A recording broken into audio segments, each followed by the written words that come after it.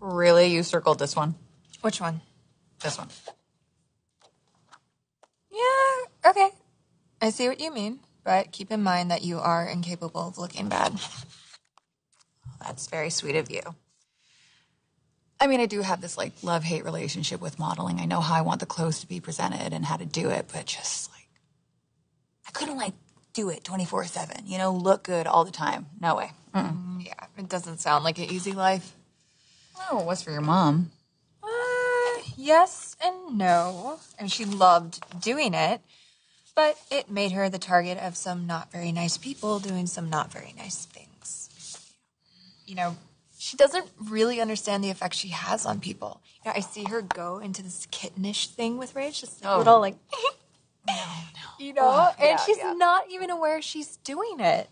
And she doesn't realize, though, that that's just the way men look at her all the time. Yeah. Yeah, that's the burden we share having beautiful mothers. Yeah.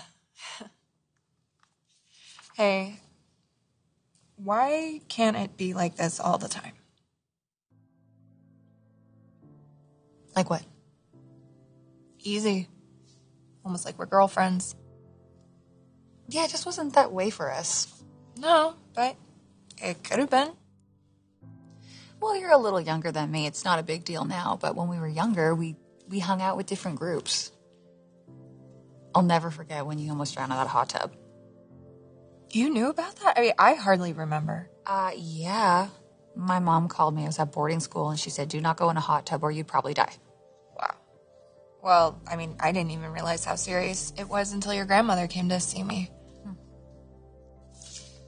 Yeah, I didn't mix well with the prep school girls, even though I hung out with them. Could have used a friend back then. Well, maybe if things had turned out differently, that friend could have been me.